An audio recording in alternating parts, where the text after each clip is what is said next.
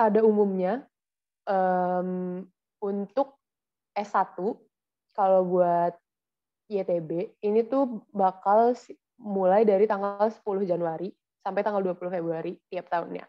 Dan meskipun uh, ini itu mulainya dari tanggal 10 Januari sampai 20 Februari, tadi kan aku bilang ya, buat websitenya itu bisa diisi kapan aja. Terus periode pendaftaran ini dipakai buat apa dong? Nah, periode pendaftaran ini bakalan dipakai untuk uh, officially mendaftarkan diri kalian pas kalian udah ngisi seluruh hal yang ada di website itu gitu. Jadi dibagi pas saat pendaftaran ini ini itu adalah momen di mana kalian bakal milih universitas apa yang kalian pengenin dan kalian ngasih semua berkas kalian yang udah kalian upload satu-satu di website itu gitu. Jadi basically apa yang udah dilakukan website sebelumnya itu uh, website itu tuh bakal ngeringkas semua informasi kalian yang udah kalian isi dalam satu folder dan nge-submit itu pada saat periode pendaftaran ini gitu. Nanti bakalan ada sectionnya sendiri untuk upload application gitu. Terus kalau misalnya kalian udah selesai nih, udah daftar, udah selesai semuanya, terus apa? Udah, kalian tinggal berdoa, nunggu pengumuman.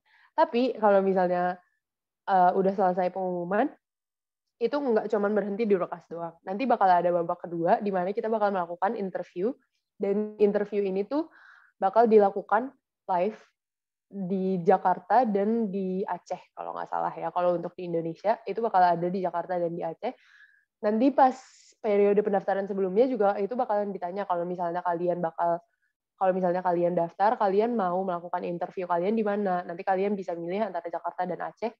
Apakah teman-teman um, bak prefer untuk datang ke Aceh atau ke Jakarta untuk melakukan interview kalian. Jadi misalnya teman-teman kita yang tadi bilang ada di Tangerang Selatan, mungkin bakal lebih baik untuk pergi ke Jakarta gitu daripada pergi ke Aceh untuk interviewnya. Atau misalnya kalian pengen jalan-jalan sekalian gitu, jadi interviewnya di Aceh aja sekalian gitu. Itu balik ke pilihan kalian masing-masing gitu.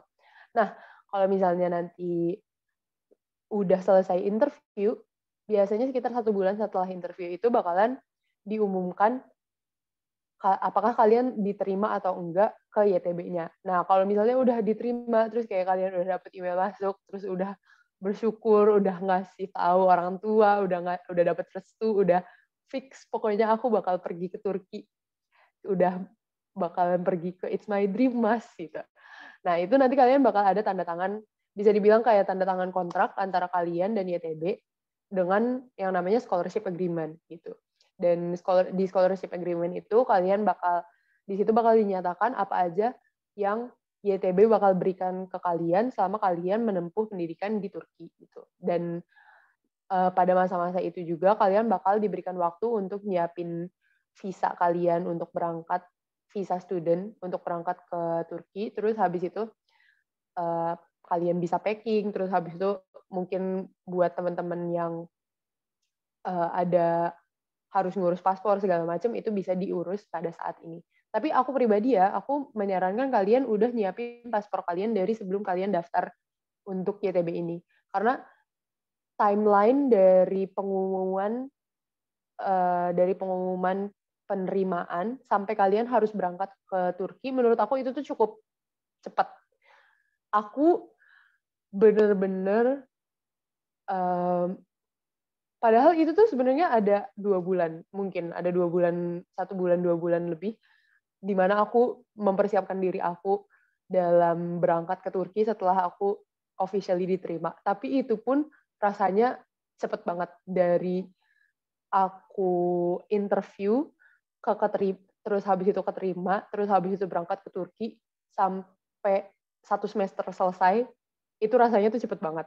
Itu salah satu momen-momen di mana aku kayak buset buset buset kayak langsung ini kenapa datang terus? Gitu nggak nggak selesai selesai itu rasanya tuh kayak gitu buat aku. Sekarang uh, saat aku udah mulai masuk kuli masuk perkuliahan lagi dan sekarang beneran udah jadi anak teknik gitu aku udah nggak merasa kayak gitu gitu. Aku mungkin merasa udah mungkin sekarang tuh lagi momen-momen di mana aku yang kayak aduh tugas lagi aduh ini ini lagi ujian lagi gitu kayak sekarang tuh udah ada rutinitas kehidupannya gitu kalau pas itu rasanya tuh kayak yang diserang bertubi-tubi gitu dengan pengumuman dan um, persiapan segala macem gitu kayak jadi aku saranin kalian udah nyiapin paspor kalian dari sebelum mulai pendaftaran supaya nggak terlalu hektik gitu. Apalagi kalau buat pengalaman pribadi aku sendiri, interview periodnya itu lumayan mundur dibanding timeline yang aku kasih tahu kalian saat ini gitu di sini. Karena pas aku daftar itu masih pandemi ya.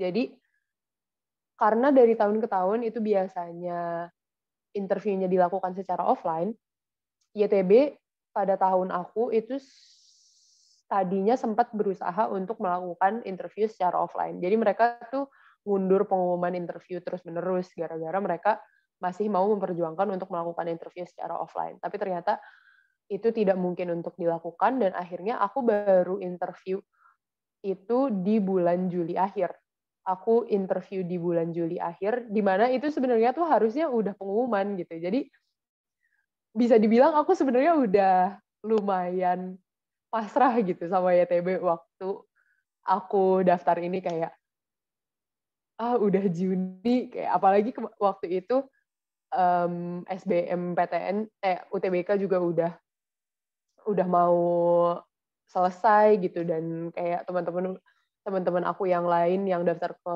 luar negeri di negara lain itu udah pada dapat pengumumannya semua gitu. Jadi aku eh yang kayak ah ya udahlah ini udah udah nggak keterima gitu. Jadi nggak usah dipikirin lagi tiba-tiba baru datang pengumuman interview itu di bulan Juli.